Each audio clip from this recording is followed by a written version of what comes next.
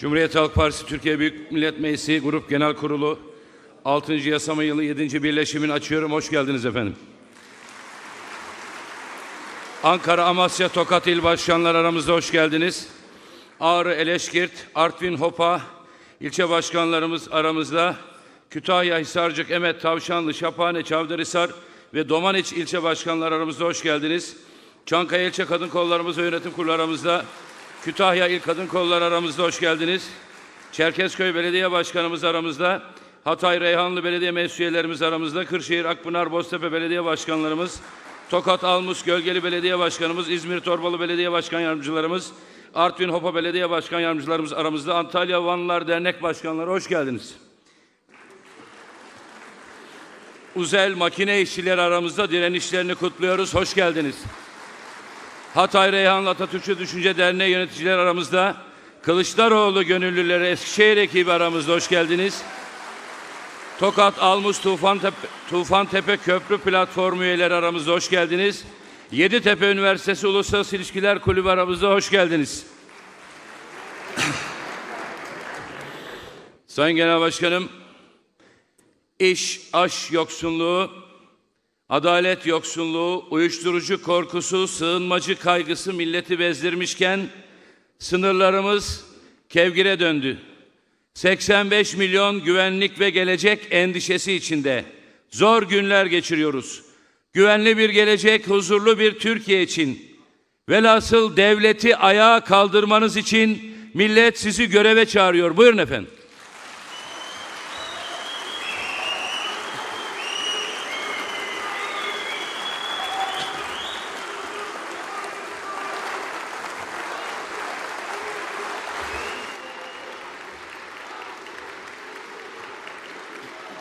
Teşekkür ederim. Teşekkür ederim arkadaşlar. Teşekkür ederim.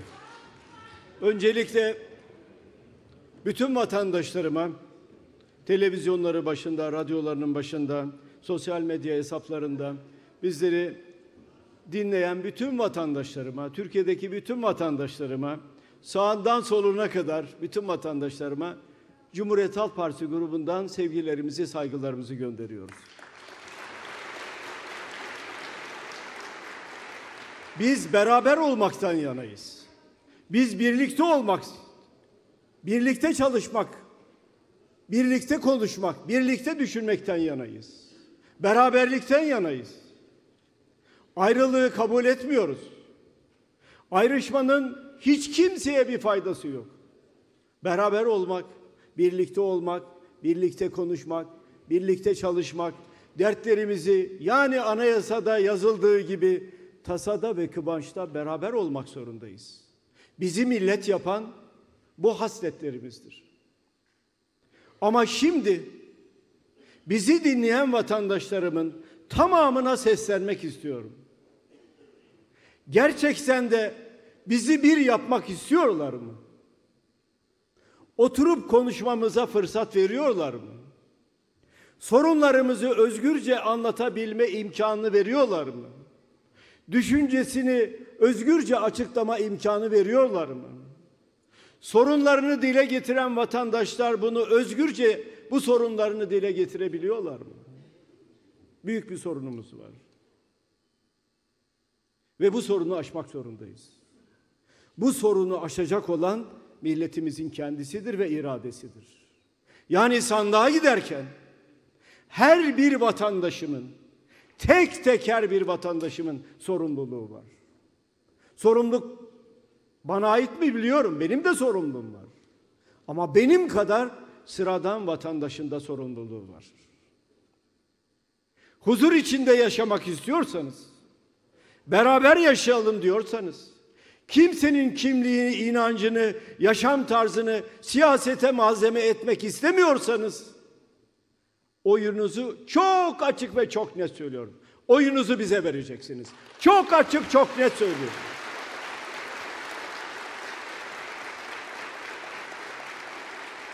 Barışın adresi. Bu ülkede barışın adresi biziz. Huzurun adresi biziz. Kavgayı değil, kucaklaşmayı savunan biziz.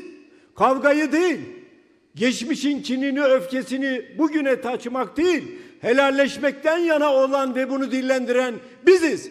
Biz 85 milyonu kucaklamak istiyoruz. Beraber yaşamak istiyoruz ve birlikte yaşamak istiyoruz. Tasada ve kıvaçta beraber olmak istiyoruz. Sorunlarımız var biliyorum. Her gün yeni bir sorunla karşılaşıyoruz. Bunu da biliyorum.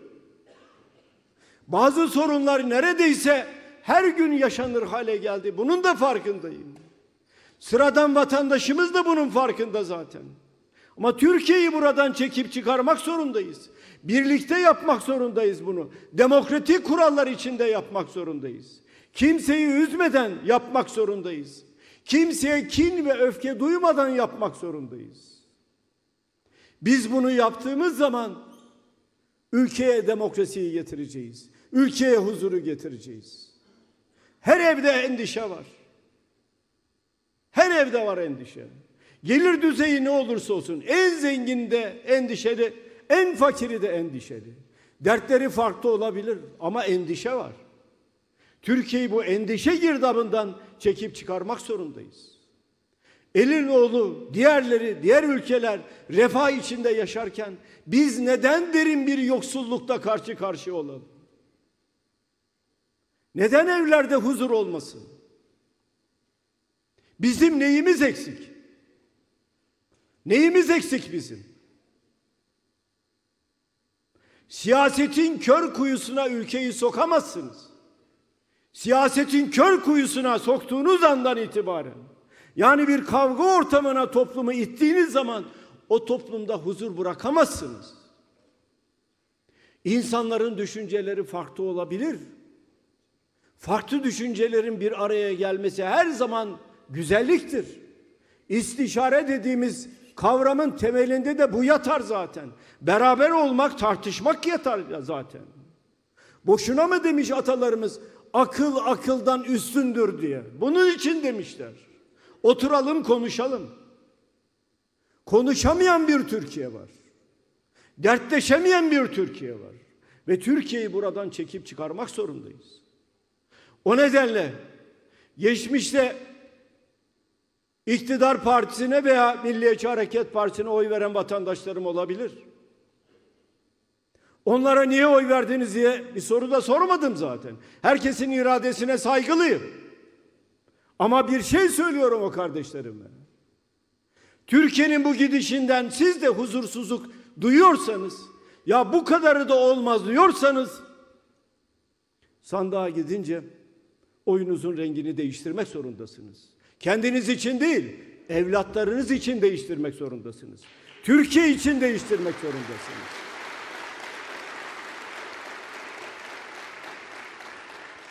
Terör belası. Değerli arkadaşlarım,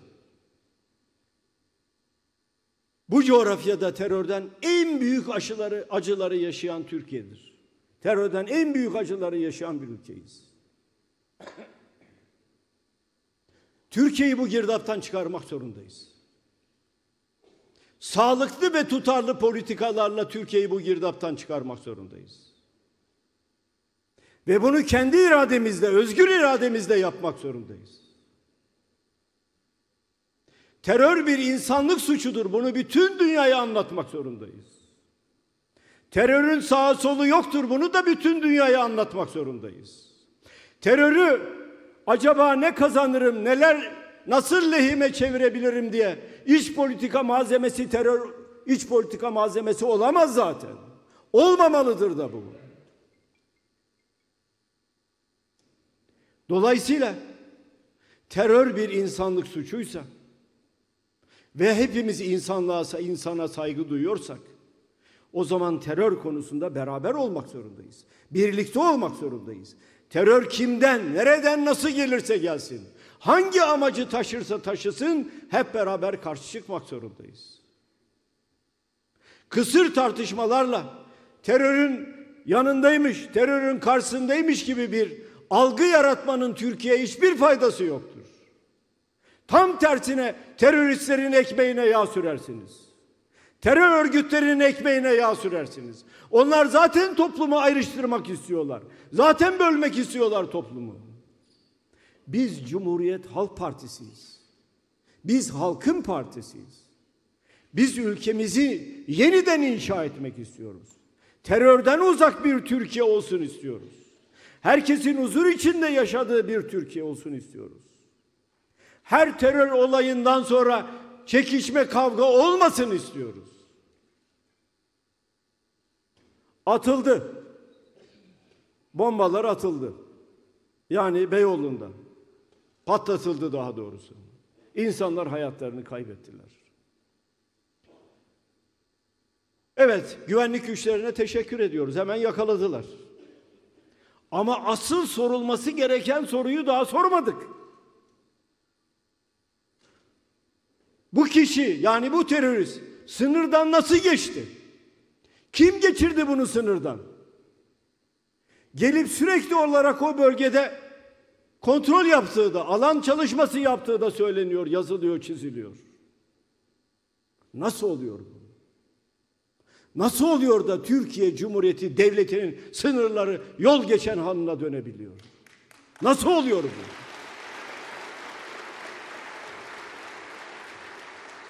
Siz bu soruyu kendinize sormazsanız ve sınırda gerekli önlemleri almazsanız teröristlere kapıyı aralamış olursunuz. Ben bunu söylediğimde kızıyorlar. Akılcı bir şey söylüyorum. Teröre karşı bir şey söylüyorum. Bu topraklarda terör olmasın diye bağırıyorum, çağırıyorum, konuşuyorum, düşünüyorum. Sınırları neden kontrol etmiyorsunuz siz? Kim izin verdi bu teröristlere?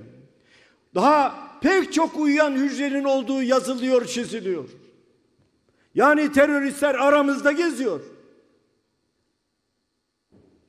Biz bunu söylediğimize ayakkabı numaralarına kadar biliyoruz. E biliyorsan bu nasıl oldu arkadaş? Benim bulma, bunu bilmeye hakkım var. Bırakın genel başkan olarak, bir vatandaş olarak bilmeye hakkım var benim.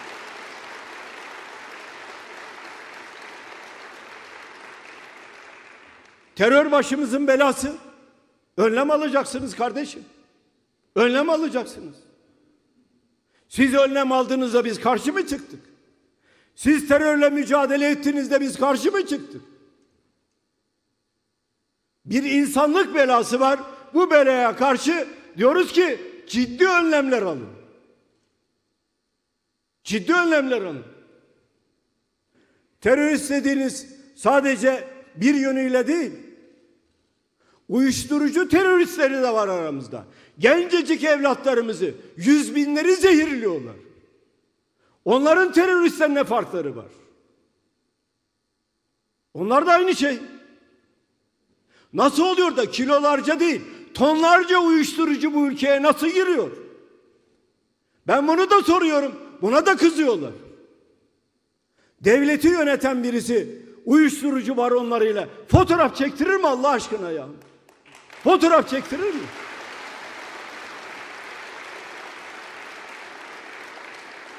Kızıyorlar, bağırıyorlar, çağırıyorlar, hakaret ediyorlar. Ya biz doğruyu söylüyoruz arkadaş. Doğruyu söylüyoruz. Tonlarca uyuşturucu gelecek. Sokaktaki uyuşturucu satıcısı bunun ilk ayağıdır. Asıl beyleri yakalayacaksın kardeşim. Onlar da terörist. Onlara da terörist muamelesi yapacaksın. Onları da tutacaksın. Onları da hapse atacaksın. Onları da hiçbir indirim vermeyeceksin. Gencecik evlatlarımız arkadaşlar ya. Gencecik evlatlarımız ya. Teröristler ne farkı var bunların? Ellerini kollarını sallayarak geziyorlar. Ve Türkiye öyle bir noktaya geldi ki uyuşturucu baronlarının, mafyalı, mafya liderlerinin hesaplaştığı bir ülkeye döndü. Birisi geliyor Afganistan'dan, birisi geliyor Sırbistan'dan, birisi bilmem nereden geliyor, öbürü bilmem nereden geliyor. Türkiye'de oturuyorlar ve kendi aralarında hesaplaşıyorlar ve birbirlerini öldürüyorlar. Böyle bir Türkiye'yi kabul etmiyoruz arkadaşlar. Türkiye böyle olmamalı. Huzur içinde yaşamalıyız. Terör dediğinizde bir tane değil değerli arkadaşlar. Ve Türkiye'yi zehirliyorlar. Her birimizin sorumluluğu var. Her birimizin. Özellikle devleti yönetenlerin sorumluluğu var bu konuda. Terör konusunda birbirimizi suçlamamız değil, akılcı politikalar üretmemiz lazım. Akılcı politikalar. Bugüne kadar doğru dürüst akılcı politikalar üretilmedi. Bakın son 20 yıla bakın. Rahmetli Ecevit iktidarı teslim ettiğinde terör bitmişti zaten. Nasıl oldu da bu kadar yeniden ama yeniden bu kadar dallandı budaklandı? Oturup bunu devleti yönetenlerin düşünmesi lazım. Terörle mücadele ediyorum. Buradan acaba oy devşirebilir miyim? Bu iş o işi değil öyle bakarsanız bunu çözemezsiniz. Bu bir insan, bu bir insanlık suçuyla ilgili bir iş. O kadar büyük açmazlarla karşı karşıyayız ki çözülmesi lazım bunların. Çözülmesi lazım. Birisi bir devleti suçlarken açıkça terör odağı diye suçlarken öbürü aynı kişi aynı devletin başkanını karşılıyor. Taziyesini kabul ediyor. Nasıl bir anlayıştır bu? Devlet böyle yönetilmez. Devlet dedim akılla yönetilir. Bilgiyle yönetilir. Birikimle yönetilir devlet. Devlet liyakatle yönetilir. Devlet adaletle yönetilir. Altını bir kez daha çizeyim. Adaletle yönetilir devlet. Başka türlü siz devleti yönetemezsiniz.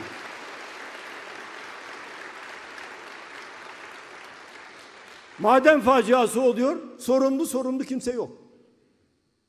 Tren kazası oluyor, insanlar hayatını kaybediyor. Sorumlu, sorumlu, sorumlu ortada yok. Terörist gelmiş geziyor. Efendim alanda bakıyor, öğreniyor. Nereye gideyim, nereye konuşayım? Telefonlar, WhatsApp yazışmaları.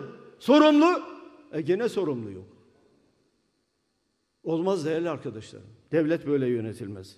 Dolayısıyla devletin yönetilmesi elzemdir. Adaletle yönetilmesi. Beş yaşındaki çocuk sınırlarımızın ötesinden atırılan bir roketle hayatını kaybediyorsa o çocuğun vebali bu devleti yönetenlerin omuzlarındadır. Kimse unutmasın bunu. O beş yaşındaki çocuğun, hayatını kaybeden çocuğumuzun, annesinin babasının yaşadığı dramı her birimiz özellikle devleti yönetenler kendi vicdanlarında ölçüp tartmazlarsa bu sorunu çözemezler. Değerli arkadaşlarım, tabii güzel şeylerden söz etmek isterim. Kim etmesi, etmek istemez ki? Ama ortam çok karanlık bir ortam. Türkiye'nin buradan çıkması lazım. Şiddeti hayatın her yerinde, her alanda bir şekliyle görüyorsunuz. Bir taraftan terör, bir taraftan uyuşturucu, bir taraftan kadına yönelik şiddet. Ya kadınlardan ne istiyorsunuz arkadaş siz? Hani diyorduk ya, cennet anaların ayakları altındadır diye. Ya peki bu şiddeti niye? Annelerden ne istiyorsunuz siz? Kadınlardan ne istiyorsunuz siz? Niçin oluyor bunlar?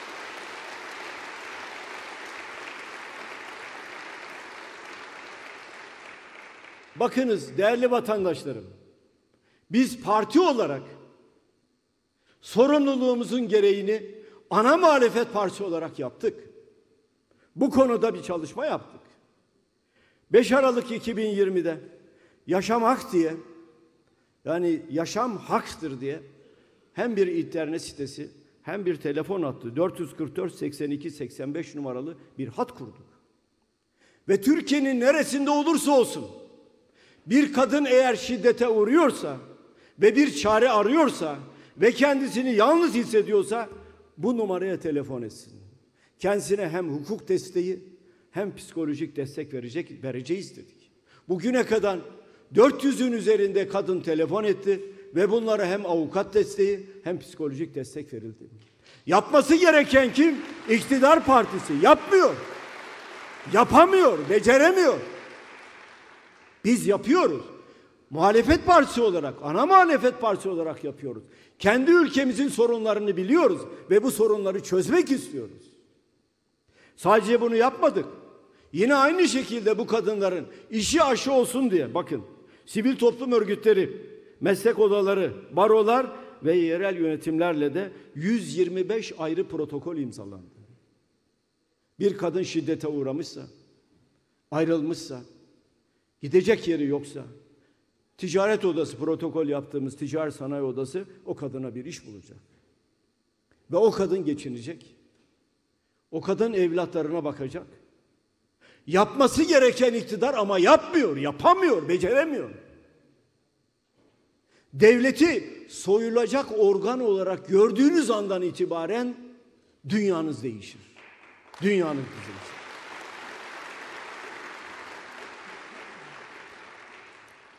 Hepimiz kentlerde yaşıyoruz. Kırsalda yaşayan nüfusumuz çok azaldı.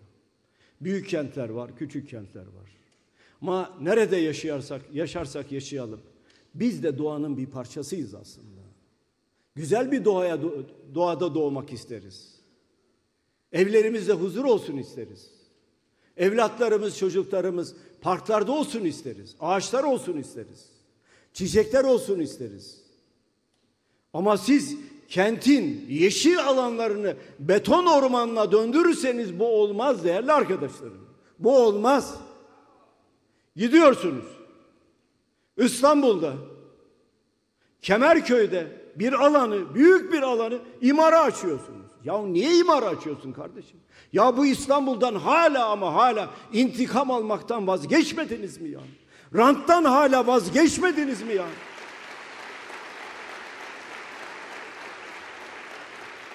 Gözünüzü hala para doyurmadı mı ya?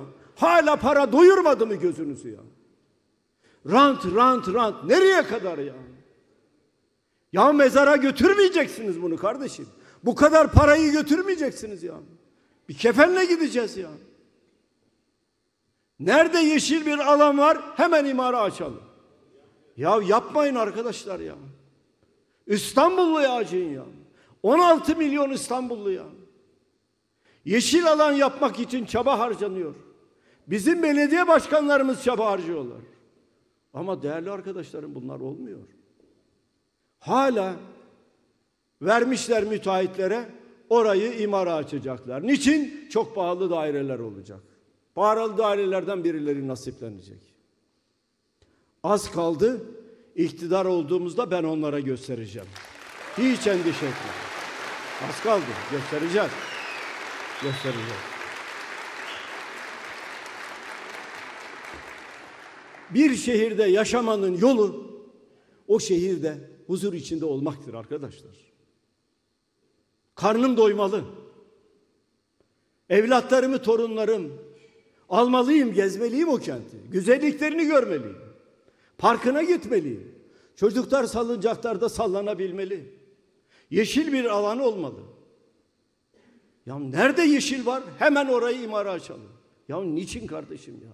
Hangi gerekçeyle ya? Dünya kadar sorun var. Bırakmışlar sorunları. 3-5 kişi kazanacak diye bakın altını çiziyor. 3-5 kişi voley vuracak diye kazanacak diye bunun hesabını yapıyorlar. Ya o 3-5 kişinin de Allah belasını versin arkadaşlar. Yapmayın etmeyin ya. Ağaca kıymayın arkadaşlar ya. Ağaca kıymayın ya.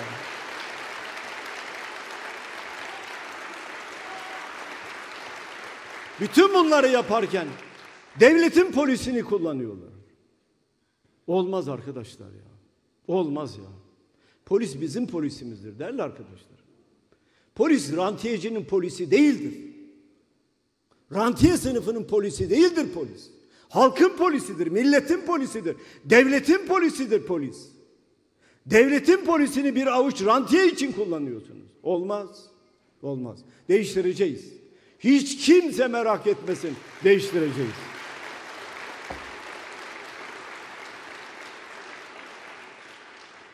Birileri ranta aşılıyor ama aynı İstanbul'da, aynı Ankara'da, diğer yerlerde de derin bir yoksullukla karşı karşıyayız. Derin bir yoksulluk. Bakın tarımsal girdi fiyatları endeksi yıllık yüzde 138 buçuk oldu değerli arkadaşlar.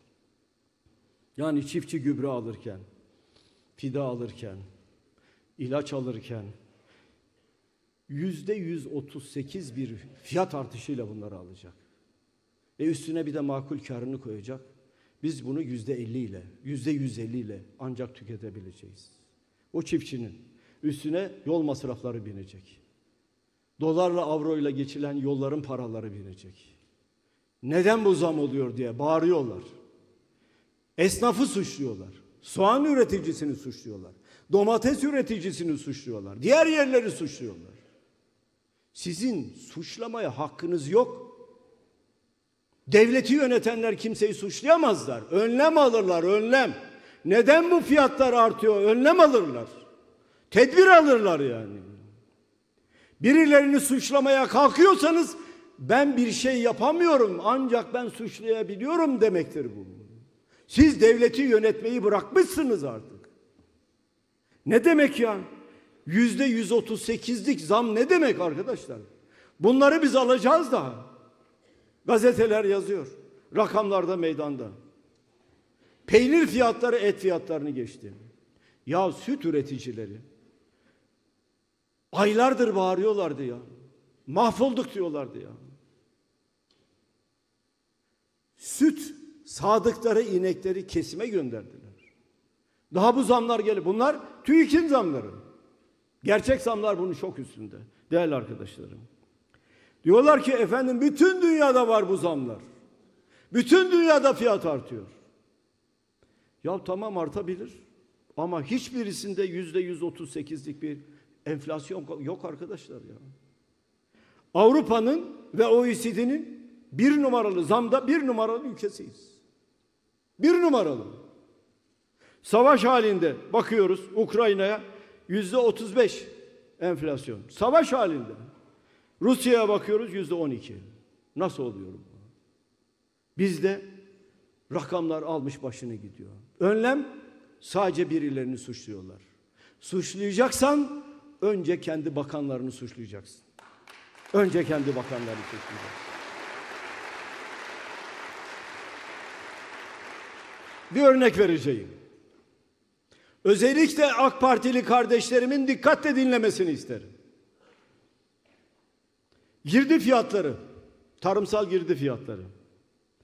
Yüzde 226 gübrede oldu sadece. Yüzde 138'di bütün girdilerde. Ama gübrede yüzde 226. Gübrede. Gübre üreticileri bir kartel oluşturdular.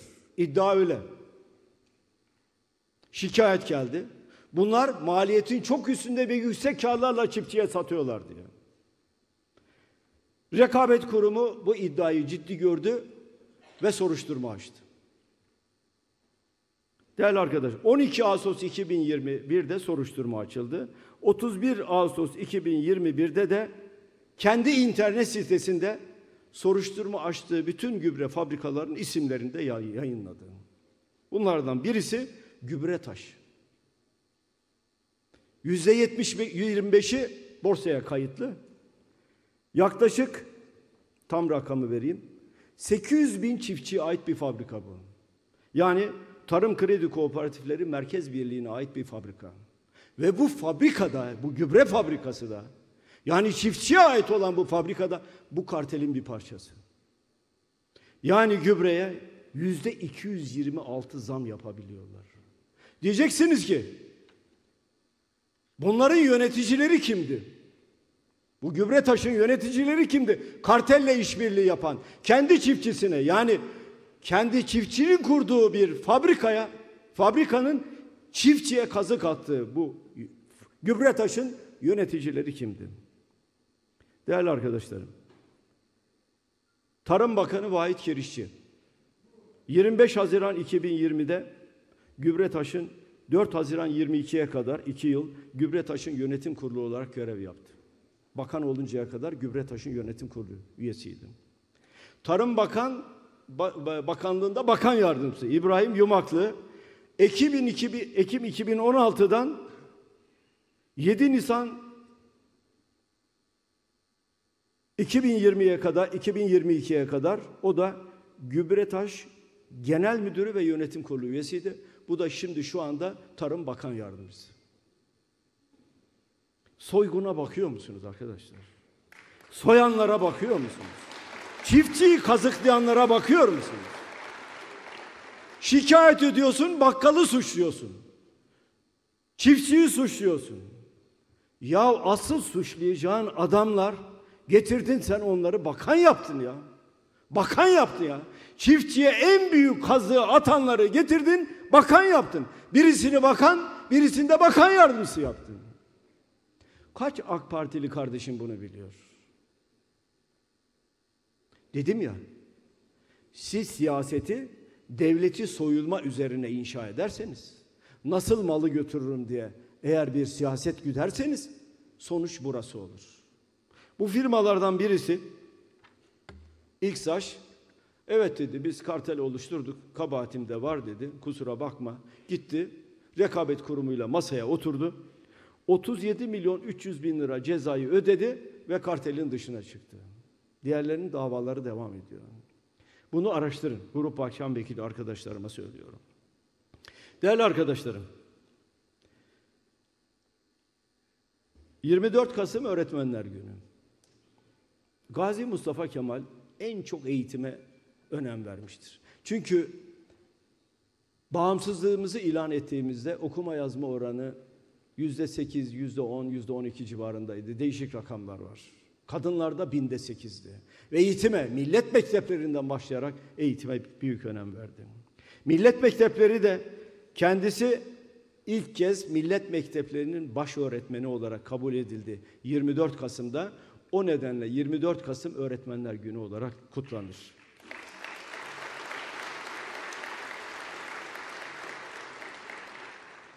Öğretmenlerin ciddi sorunları var. Öğretmen kardeşlerimi sınava soktular. Çoğu arkadaşım sınava girdi, kardeşim sınava girdi. Hiç endişe etmeyin. Eğer biz yani Cumhuriyet Halk Partisi öğretmenleri kamuda ayrı daha daha güzel ve ayrıcalıklı bir sınıf haline getirmezsek görevimizi yapmamış oluruz. Öğretmenlerin tamamını hakimler ve savcılar kanunu gibi özel bir yasa çıkararak ayrıcalıklı bir sınıf haline getireceğiz.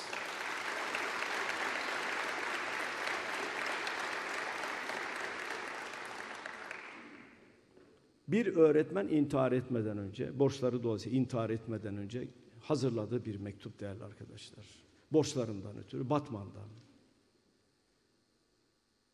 Değerli arkadaşlarım, Feyzullah Yar şikayet ediyor, yedinci kattan atlıyor borçları dolayısıyla ve intihar ediyor. Bir öğretmeni bu hale düşürmek 21. yüzyılın Türkiye'sine yakışır mı? bir öğretmeni ay başını nasıl getiririm diye düşünmesini sağlamak 21. yüzyılın Türkiye'sine yakışır mı? Oysa tam tersi olması lazım. Evlatlarımızı teslim ediyoruz. Bizim evlatlarımıza eğitim, öğrenim, güzellik, sevgi, saygı, bilgi, birikim, oyun, düşünme, merakı büyütme her şeyi öğretiyorlar öğretmenler. Ve Mustafa Kemal eğitimdir ki bir milleti yahür, bağımsız, şanlı, yüksek bir topluluk halinde, halinde yaşatır ya da milleti esaret ve sefalete terk eder diyor.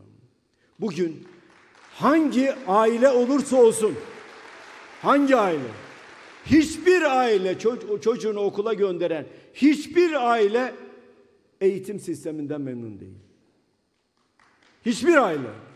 Hangi görüşten olursa olsun ve coğrafyanın neresinde yaşarsa yaşasın. Bunu düzelteceğiz. Sevgili anneler, sizi anlıyorum. Çocuklarınızı iyi eğitmek istiyorsunuz. Bunu da anlıyorum. İyi bir okula göndermek istiyorsunuz. Bunu da anlıyorum. Öğretmenleriniz çocuklar için çırpınsın. Bunu da anlıyorum. Ama hiç endişe etmeyin tamamını yapacağız. Ve öğretmenleri bu ülkenin baş tacı yapacağız. Bu ülkenin baş tacı.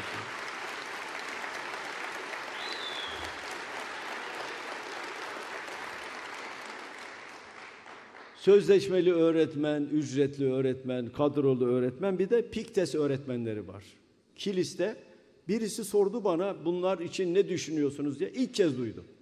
İlk kez duydum. Bunu da itiraf edeyim. Meğer Suriyeli çocukların Türk eğitim sistemine entegrasyonun desteklenmesi projesiymiş. Buradaki öğretme görev alan öğretmenler de KPSS sınavından alınıyorlar ama hiçbirisinin güvencesi yok. Bunu da bitireceğiz. Kim öğretmense, evlatlarımızı yetiştiriyorsa hepsini kadrolu öğretmen yapacağız. Hiçbir öğretmen yoksulluk sınırının altında aylık almayacak. Hiçbir öğretmen. Hepsi yoksulluk sınırının üstünde aylık alacak. Eğitime, taş- taşımalı eğitime son vereceğimizi söyledik. Bakınız, ben öğretmenleri ayrıcalıklı kılacağım derken Erdoğan 2012'de şunu söylüyordu. Öğretmenlerin 15 saat çalışıp yüksek maaş almaları diğer memurlara haksızlık değil mi? Bir daha okuyayım. Öğretmen kardeşlerim de dinlesinler. 25 Mayıs 2012. Öğretmenlerin 15 saat çalışıp yüksek maaş almaları diğer memurlara haksızlık değil mi? Buradan sesleniyorum. Hiçbir memur, hiçbir çiftçi, hiçbir sanayici, bu ülkede yaşayan hiçbir kişi öğretmenlerin fazla maaş almasından asla ve asla rahatsızlık duymaz. Asla duymaz. İkili eğitim, birleştirilmiş sınıflar bunları bitireceğiz. Hatta iki yere dedim ki okul yapılacak. Bunlar yapamıyorlar. Oturun karar verin. Okulları bize teslim edin. Yerleri teslim edin. Okulları biz size yapacağız. Bir yıl sonra çocuklarımızı güzel okullara göndereceğiz diye yapmadılar. Evet, onu gayet iyi biliyorum değerli arkadaşlarım. Eğitim konusunda hiç kimsenin endişesi olmasın. En büyük kaynağı eğitime ayıracağız. En büyük kaynağı. Eğitim bir ülkeye, bir kişiye, bir sınıfa, bir aileye sınıf atlatan en önemli faktördür. Hiç bilenle bilmeyen biri olur mu? O zaman hepimizin bilmesi lazım. Hepimiz bileceğiz. Güzel şeyler bileceğiz. Ve çocuklarımız güzel okullarda ve iyi öğretmenler tarafından yetiştirilecek. Biz onların bilmediği bir kavramı da toplumun belleğine sokmaya çalışıyoruz. Yüksek yetenek inşasını yeniden ayağa kaldıracağız. Ve zeki çocuklarımızı dünyanın her tarafına göndereceğiz. Onlar bizim geleceğimizi, ufkumuzu açacaklardır. Eğitimin ne kadar önemli olduğunu, ne kadar değerli olduğunu farkında bile değiller. Ama biz eğitime gerekli önemi vereceğiz. Değerli arkadaşlarım, kısaca dış politikaya da değineyim. Bakın, 2012, 26 6 2012'de şunu söylemişim. Dış politika iç politikadan farklıdır. Boğazınızdaki dokuz boğumu unutmayacaksınız. Lafı söylerken düşüneceksiniz. Çünkü dış politika ülkenin tarihinde iz bırakan politikadır demiştim. 2012'de. Ve Cezayir örneğini vermiştim. Cezayir bağımsızlık savaşını kazandığında, bağımsızlığını ilan ettiğinde Türkiye Birleşmiş Milletler'de çekimser kalmıştı. Bağımsız devlet olarak tanımamıştı yani. Bize kırgınlardı. Derin izler bıraktı. Ta ki rahmetli Özal Cezayir'e gidip Cezayirlerden özür diledikten sonra ilişkilerimiz düzeldi. O nedenle dış politika ülkelerin tarihinde derin izler bırakır. O nedenle diyorum konuşurken dokuz boğumu unutmayacaksınız. Sekizin atasözü de şöyle. Gırtlak dokuz boğumdur. Sekizini yut ama birini sadece söyle. Biz bunu yapmak zorundayız. Dış politika böyledir. Yine 2016'da söylemişim. Dış politika milli olmak zorundadır. Her zaman söylerim. Yani iktidar ve muhalefetin beraber karar aldığı bir alandır dış politika. Dış politika konuşurken gırtlağınızda dokuz boğum olduğunu düşüneceksiniz. İç politikadaki gibi esip gürleyemezsiniz. Yapamazsınız bunu. Daha dikkatli, daha özenli konuşacaksınız demişim 2016 ve 2022 Mayıs ayında. Cumhuriyet Halk Partisi'nin felsefesinde dış politika milli olmak zorundadır. Yani dış politikada iktidar muhalefet yoktur. Dış politikada bütün bir millet beraber olmak zorundayız demişim. Ama Erdoğan tam bunların tersini yaptı. Bizim ikinci yüzyıla çağrı beyannamesinde dış politika ile ilgili şöyle bir cümle var. Dış politikayı 180 derece değiştireceğiz diyor. Niçin? Bu dış politika dış politika değildir. Kişi endeksli dış politika olmaz. Dış politika ülkenin çıkarları üzerine inşa edilir. Eğer dış politikada yanlış yaparsanız, dengesiz konuşursanız, hamaset yaparsanız size bir gün bunun gereğini yaparlar ve siz onların önünde diz çökmek zorunda kalırsınız. Erdoğan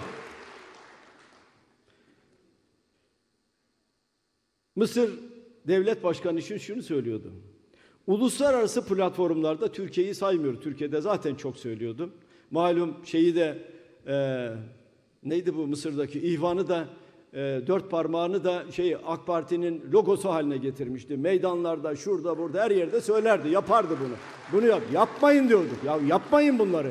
Türkiye'ye zarar veriyorsunuz diyorduk. Evet. Rabia işareti, evet.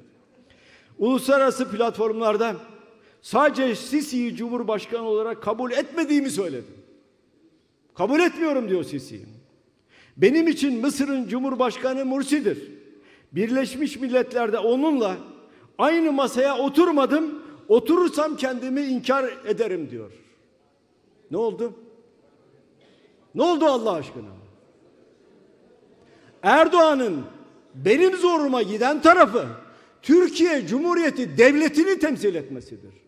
Türkiye Cumhuriyeti devletinin itibarını yerle bir etmesidir.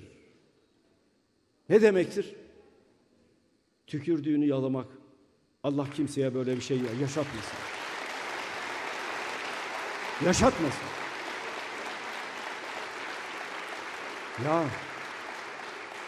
kavga etme dedim arkadaş. İç politikada tamam kavga ederiz eyvallah. Ne olacak? Üç gün sonra barışırız. Ama dış politika öyle değil. Şimdi ne yaptın? Gidiyorsun. Elini sıkıyorsun. Birleşik Arap Emirlikleri için, Suudi Arabistan için, İsrail için, Suriye için neler söylemedin? Şimdi araya aracılar koyuyor. Acaba nasıl barışabiliriz diye. Bütün dünya gülüyor arkadaşlar. Bütün dünya. Türkiye'nin itibarı böyle sarsılmamalı. Bütün devletlerde Dışişleri Bakanlığı vardır. Dışişleri Bakanlığı bürokratları ayrıcalıklı bürokratlardır. Bunların hayatlarının büyük bir kısmı yurt dışında geçer. Türkiye'de değil, yurt dışında geçer. E siz rüşvet alanları büyük elçi yaparsanız, e bu da böyle konuşur tabii. Ne olacak yani? Bu da böyle konuşur. Evet, gelelim son son konuya. Biliyorsunuz değerli arkadaşlarım, Amerika'ya gittim, İngiltere'ye gittim. Amerika'ya gidişimde de, İngiltere'ye de gidişimde de havuz medyasına baktım. Fırsatlar aradılar, nasıl karalarız diye uğraştılar, didindiler, bir kara propaganda mekanizması oluşturdular. Tabii onlar ne yapabiliriz? Bu gezileri nasıl gölge, gölgeleyebiliriz arayışı için dediler. Ama tabii bizim partiler de merak etti. Ya genel başkan niye gitti? Biz söyledik şöyle böyle ama onlar da merak ettiler. Bu kadar sorun varken neden genel başkan Amerika'ya gitti, İngiltere'ye gitti? Üniversitelerle görüştü, büyük firmalarla görüştü. Neden bu görüşmeyi yaptı diye. Onların yaptığı korkudan bizim yaptığımız meraktandı. Biz merak ettik nedir bu diye.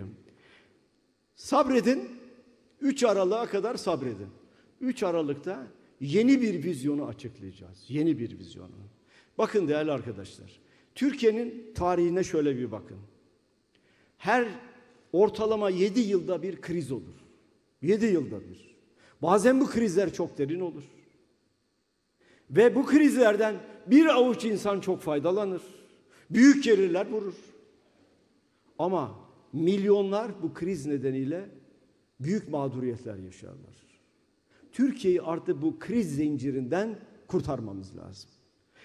Ve emin olun çok güzel şeyler açıklayacağız. Çok güzel.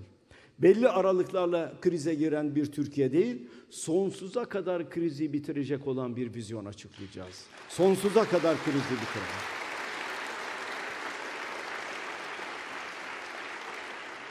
Ekonomi bakanlarını değiştirdiler, maliye bakanlarını değiştirdiler, bürokratları değiştirdiler, hükümetler geldi gitti. Ama krizler bizim hayatımıza hep oldu. Sonsuza kadar bu krizleri bitirmemiz lazım. Türkiye bunu hak etmiyor. Siyaset kurumu da bunun gereğini yapmak zorundadır. O nedenle gittim. Değerli arkadaşlarım, o nedenle gittim. Vizyonumuz hazır. 3 Aralık. Ekiplerimiz hazır. Yatırımcılar hazır. Taze para da hazır. Türkiye'yi bu beladan sonuna kadar kurtaracağız. 3 Aralık'ı bekleyin ve asla unutmayın. Geliyor, gelmekte olan. Asla unutmayın. Sağ olun. Bekliyoruz Sayın Genel Başkanım. Birleşimi kapatıyorum.